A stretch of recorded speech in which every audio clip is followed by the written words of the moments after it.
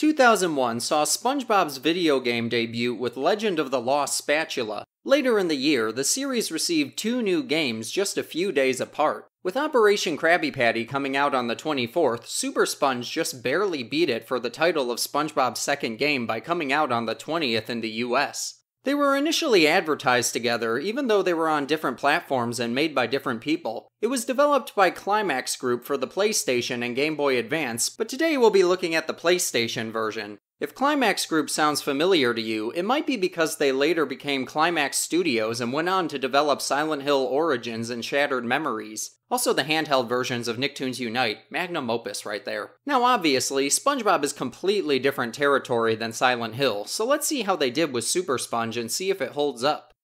But there's one more thing I have to mention. If we're going to talk about Super Sponge, there's an elephant in the room that I can't ignore. On old development CDs, along with some silly notes and information logging Super Sponge's creation, some very unusual images were found. Images of SpongeBob characters engaging in acts that aren't exactly conventional for a Nickelodeon show. If you really want to see them for whatever reason that may be, they come up quickly if you look them up. But just to give you an idea, here's a close up of a few faces from the pictures. Yeah, I don't think the name Climax Group was a coincidence. So now that we've relieved ourselves of mentioning that burden, let's get on with the game. It opens with some show clips that introduce the main characters. We also get a taste of the game's music, which is actually really good. There are some fantastic tracks in this. Listen to some of these.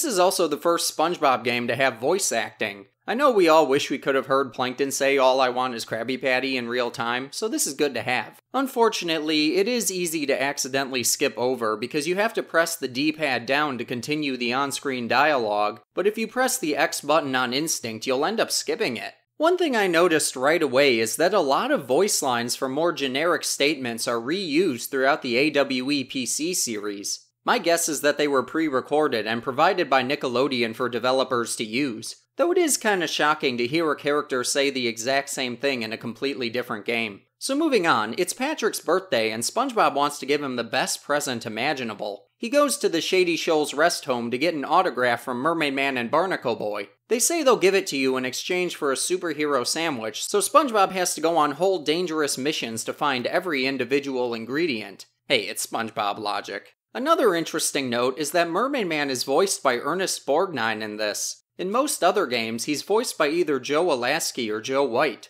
I'm glad Ernest could fit this in his schedule, he's an absolute legend. So when we get to the gameplay, we see that the levels are compiled into five chapters. The first is Bikini Bottom, and we start with Jellyfish Fields, a good starting location for any SpongeBob game. You can also see the main characters' houses in the background at the start. There's a sense of progress as you move forward, and I really like that about this. Just like in Battle for Bikini Bottom, the first character you meet in Jellyfish Fields when you get off a bus is Squidward. He sure likes this place for someone who hates jellyfishing. I mean, he did invent it after all. He gives you your jellyfish net and tells you to go away. This is your first item, and in my opinion, the worst one of them all. You use it to catch jellyfish that are flying around, then you can throw them at enemies, but you can't aim it, you just kinda toss them on the ground in front of you and hope they hit something. The enemies will already be too close for comfort by the time you're in a good range. It's so much easier to just use your butt slam ability to crush them. I find it interesting that in most SpongeBob games, jellyfish are enemies that hurt you, but in this, they only act as ammo for your net.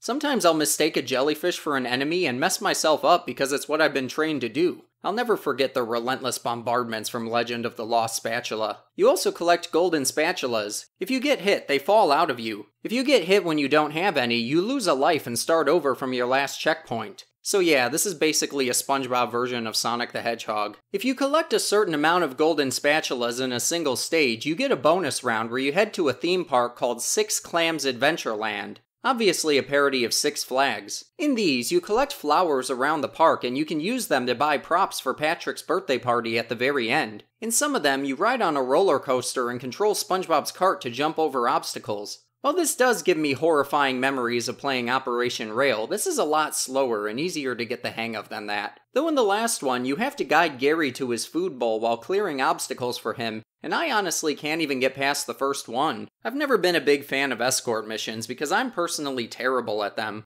Thankfully, it's just a bonus round. But if you're trying to collect the golden spatulas in a regular stage, be careful because there are enemies all over the place. Unlike in Legend of the Lost Spatula, though, there are plenty of checkpoints in this. But like in Sonic the Hedgehog, you have to collect the spatulas again if you lose them. If you're close to the end of the stage and something hits you, that means it's time to restart. Though a lot of the difficulty, especially in later stages, comes during the sections where you jump from one platform to another. While it can just feel outright unfair in some sections, it's an acceptable challenge for the most part. It feels smooth when you jump, so you have control of where you land. A recurring issue I see with early SpongeBob platformers is the jump controls are usually restricted and it's hard to reach moving platforms with them. Good on Climax for getting it right. The stages themselves are fun to go through, and it's nice to see episode references that they slip in, like this rock that looks like a snail shell. Though sometimes you'll meet a random 3D enemy that might be a bit unexpected. Again, they're just like AWE with their 2D 3D blend. These companies were made for each other. So once you find the jelly, you head to Sandy's Tree Dome for the CNUT butter. You need your water helmet, though it isn't visible on SpongeBob. Your water is draining, so you need to jump in pools to refill it. You have to climb Sandy's tree by jumping to platforms and avoiding falling acorns. I had trouble with this at first, but after doing it once, I could do it easily on my second try. The farther you go, the more generous the game gets with how many pools it gives you.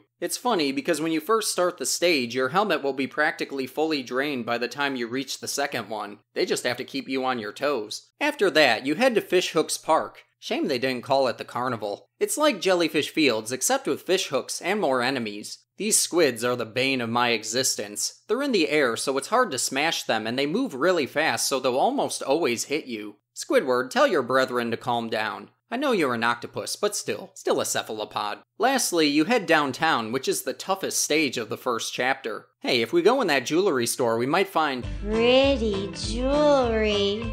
You have to keep the high ground because these boats will destroy you if you're on the street. Though even if you get the high ground, these squids will destroy you. You just can't win with this. Once you clear it, you reach the first boss, Mother Jellyfish. You read from Mermaid Man and Barnacle Boy's superhero handbook to know how to defeat her, and to be honest, even though she's only the first boss, she's kinda the hardest. This is because you have to catch and fling jellyfish at her, but that requires getting close enough to aim. If you touch her or she stings you, you take damage. But she often blocks the center of the stage and it's hard to get around her. You might lose spatulas or waste jellyfish, but you can't get past her to collect more. You have to keep hitting her with jellyfish until she dies, then you bring the completed sandwich back to Shady Shoals. Honestly, you could have just won a typing tournament. The sandwich would have been just as good. So now Barnacle Boy sends you to find equipment to give Mermaid Man a facial. Obviously, this can only be found at the center of the Earth. Why else do you think skincare is so hard? This is where the game really starts to get difficult. Here you meet Mr. Krabs and he gives you a coral blower. They don't call it a reef blower in this. To use the blower, you find a piece of coral or a seashell, then you suck it in. Then you hold the square button to aim it before firing it to smash a breakable wall. When wearing it, you can't do your butt smash or jump very high, so you often have to release it and find a new one after making your jumps. But be careful when you release it, because if you have coral or a shell inside, you lose it when you re-equip the blower. Like in the final bonus round, you also have an escort mission where you have to clear a path for Gary to reach his food bowl. You wouldn't want Gary to die, would you? This requires fighting these enemies on the ceiling that shoot at you in different directions at once. You can only defeat them by shooting at them with your blower, but it's hard to hit them because your aim has to be perfect. This requires getting extremely close to them before you shoot. But after the escort mission, you might be disappointed to find that it was just for an extra life. Don't get me wrong, lives are still extremely useful in this, especially when they have obstacles like these spikes that are easy to fall into, or this pitfall right here that's just cruel with its placement. Also, these skull blocks that smash you are terrible because they move gradually and just touching them can hurt you. Honestly, this one stage alone feels like it goes on for an entire chapter. It's probably the most detailed one in the entire game. It's a massive relief when you finally complete it. Ironically, the very next stage is so much easier. Patrick gives you a balloon that you can float with, so you can use it while jumping on bubbles to navigate caverns. Yeah, try jumping on bubbles in real life and see what happens. But this is a really fun stage. I like flying through the tunnels. So when you reach the air pocket stage, you're immediately hit by a falling boulder. Talk about a warm welcome. We also meet octopi that are just as bad as the squid from earlier. Geez, what did we do to make Squidward send his whole extended family after us? They move up and down and can block off platforms you need to jump on. Thankfully, there's a way to beat them with a new item you can collect. If you find the bubble wand and bubbles for it, you can blow them and use them as platforms to jump on. This is one of my favorite mechanics. You can cross gaps, but you can also use it to get above enemies so you can butt slam them. Illogical as it may be, I love this item. Though I don't love the chasm crossing section of this stage very much, it is absolutely unforgiving. But once it's done, you head to the lava fields. Here, you can bounce on tires that somehow made it to the center of the Earth. You know, come to think of it, how did any of this reach the center of the Earth? I blame Plankton. Here, you also have to cross rivers of lava by running backwards on a barrel. Once you reach the opposite end, you have to jump forward, so it can be confusing before you get the hang of it. Then you reach the second boss, the Sub Shark, one of Plankton's robots that went haywire. You have to collect a jelly launcher that shoots a limited supply of jellyfish. The shark flies around and dashes into you, and once it starts dashing, it's hard to avoid. I found this battle hard at first, but then I realized what I was doing wrong. You can shoot the shark with jellyfish, but you don't have a lot of ammo and the stage doesn't resupply you. I thought I had to restart whenever I ran out, but you can actually butt slam the shark to damage it too. Also, if you just stand on the back ledge and shoot whenever it comes into view, it won't even hit you. It's easy when you know what to do. So SpongeBob brings the stuff back to the heroes, but he still isn't done. Barnacle Boy sends you to prehistoric Bikini Bottom to find new uniforms for him and Mermaid Man. It sounds like he's just trying to get rid of SpongeBob, but then why doesn't he just give him an autograph and be done with it? How hard could it be? And you gotta hand it to SpongeBob here. He's going to such extreme lengths to get this present for his friend. I get that he and Patrick are close, but all this for one simple birthday gift? I mean, if the developer images are anything to go by, you know what? Never mind, I'm not gonna make that joke. So SpongeBob goes to use Plankton's time machine, and Plankton doesn't mind as long as you fill it up before you return it. Then you go in the same time machine from SB129. Make sure you don't accidentally go to that alone place, that would be horrifying. We already went there in the Invader Zim game. But nah, for this first round, you fly on balloons through spiky caves and butt smash breakable platforms. Hey wait, why is Mr. Krabs here? He must have used his own time machine. Maybe he can only collect the Krabby Patty formula in the prehistoric ages. New theory. He gives you squeaky boots you can walk on spikes with, so I guess he didn't learn his lesson from the last time he gave SpongeBob squeaky boots. The first stage is easy, and in the second, you meet Sandy, who gives you a karate glove. Seriously, is every SpongeBob character going back in time? I guess they're all determined to help you get that autograph for Patrick. The karate glove kinda sucks because it doesn't last long at all, and even though it's a handy weapon for close combat, it's still more efficient to butt smash. I barely ever get to use it before it disintegrates. The stage isn't too hard, but there's a neat fact about the next one. It's called the Kelpozoic Jungle, which was also a location in Legend of the Lost Spatula. There sure are a lot of similarities to the other 2001 games in this. Were Climax, AWE, and Vicarious Visions all working in the same studio or something? Also, Patrick's here now, so that nullifies my theory that everyone's working together to get his present. Again, another easy stage if you know what to do. Then you go inside a whale for the last one. Wow, they did a stomach themed stage even before Creature from the Krusty Krab. The stomach acid can be a pain to work around, but once you get through it, you reach a boss. This whole chapter is very easy when compared to the one before it. Maybe this one should have come before the underground one. The boss is also easy, you just bounce around and butt slam it, nothing to it. When you return to Shady Shoals, Mermaid Man and Barnacle Boy are hiding from you. Seriously, if they want you gone so much, all they have to do is write their name on a piece of paper. Why is that so hard for them? There's also a mistake in this. Barnacle Boy wants you to get his favorite kelp bar, and he says you can only get it in Bikini Bottom. He even emphasizes that. He actually means rock bottom. I like that the first stage is actually the process of climbing into Rock Bottom, you jump across moving platforms that are really fun to navigate, though the shooting ceiling enemies absolutely suck in this. Once you reach the kelp bar machine, you find it's empty, so you have to keep looking. The next stage is called Lonely Souls, which as a name sounds really deep for a SpongeBob game. It's this really cool creepy level where you jump across docks and ride rafts. The candy machine is also empty, so it's on to the graveyard. Here, you fight these creepy shrieking skulls. Then you reach Last Stop, where you go underground. Then you meet your next boss, the Flying Dutchman. You stand somewhere, wait for him to appear behind you, then you shoot him with your jelly launcher. But it actually gets confusing when you defeat him. You're left wandering around with nothing to collect and nowhere to go. It might take you a bit to realize you have to ride a bubble all the way to the top of the screen to return to the surface. Then you can get the kelp bar from a working machine. But now you're locked outside the rest home. From the window, Barnacle Boy says the TV is broken, so he sends you to find tools to fix it in the very last chapter. Now it's off to Industrial Jellyfish Fields, a darker spin on the first level. Here, we meet, oh, hey Man Ray, one of Mermaid Man and Barnacle Boy's biggest enemies just casually waltzing by. He only takes one hit to go down, and there's a whole bunch of him walking around in this chapter. This is like if the Joker appeared as a regular henchman in an Arkham game, especially without any context. In the next stage, you're actually in his lair, but since there are so many of him, I'm not even sure which Man Ray owns it. Maybe he cloned himself. I like the oil rig stage because you're moving around all these tubes in a factory zone, but these fire obstacles are an instant death if they touch you. That's kinda harsh because they're really easy to get hit by. They continue into the next stage along with other gruesome hazards like these spinning blades. This final chapter is difficult if you're trying to collect all the spatulas, which are required to unlock the bonus round, but if you're just trying to win, it isn't too hard. Not even the final boss. It's an iron dogfish, something Mermaid Man and Barnacle Boy have never seen before. Thankfully, to defeat it, all you need to do is hit these switches as it passes by. This'll stun it so you can butt slam it.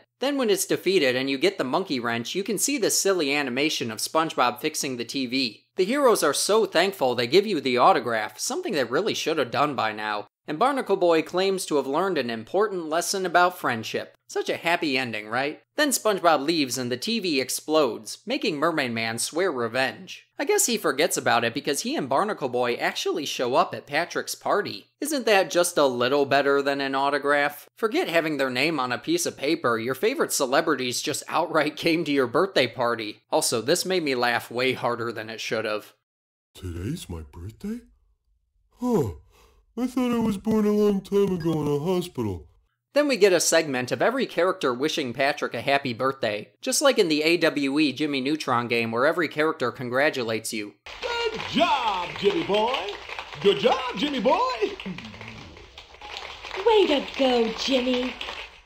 Always my brightest student. All right, Jimmy. Wow, I made an AWE reference that wasn't even a SpongeBob game. These companies really do have a lot in common. Then after that, the credits roll. An ending that gives us exactly what we were fighting for. So yeah, I really enjoyed playing through this. The different mechanics make the stages worthwhile, and it's nice to see all the different things you can do. For such a straightforward concept, every level is filled with paths and features you can check out. With good details and a pleasant soundtrack, this is a really enjoyable adaptation. Yeah, some parts can be frustrating, but there are plenty of easy stages to keep you from completely losing your head. It has a SpongeBob appropriate plot, lets you take a trip to your favorite locations, and has a strong sense of nostalgia when you look back at it today. I'd say Super Sponge was a good one. Thank you for joining me. I will see you in the next memory.